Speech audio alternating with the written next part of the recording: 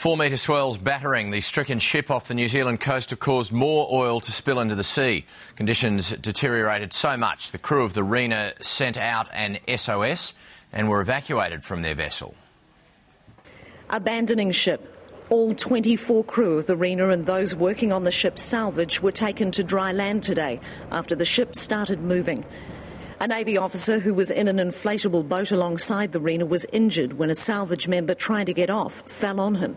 The Rena is now a ghost ship, empty apart from its cargo and the oil that continues to leak from its hull. Until today, it was estimated that 20 to 30 tonnes of oil had escaped from the Rena. But bad weather overnight meant that the oil spill is now estimated to be 10 times larger. Somewhere between 200 and 300 tonnes has escaped from the ship. It'll be days to potentially weeks of effort that we're going to start being involved in here.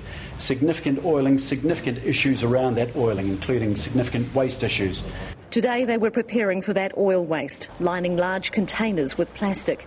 They don't know where the oil is leaking from, but it's brown in colour, suggesting that it may be oil that was trapped inside the bilge rather than from a new hole in the tanks.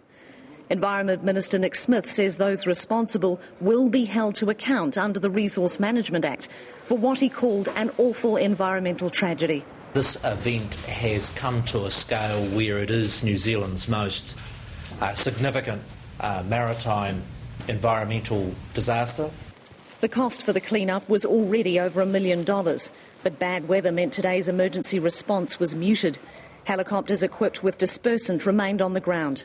The Awanuia was also out of action. It was damaged as it pumped oil from the Rena yesterday and is now in Tauranga Harbour being repaired.